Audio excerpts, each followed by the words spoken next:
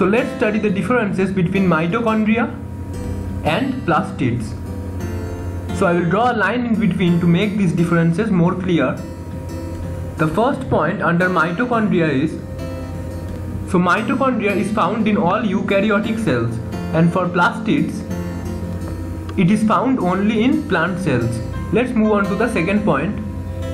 Mitochondria produces ATP and plastids plastids produces glucose and stores it as starch. Now let's move on to the third point. So the main function of mitochondria is cellular respiration and for plastids it is the main organelle for photosynthesis.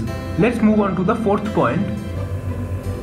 Mitochondria are relatively smaller in size and for plastids, plastids are comparatively larger in size. For mitochondria, the fifth point is, the fifth point says pigments are absent. For mitochondria, pigments are absent and for plastids, for plastids, pigments are present. So in order to give clear clarity regarding this topic, let me show a diagram of mitochondria and plastids. So this is a mitochondria and this is a plastid. The mitochondria, I have a brief description over here. The mitochondria is an organelle that has a double membrane and consists of matrix and cristae. It is an organelle that occurs in almost all eukaryotic cells, both plants and animals.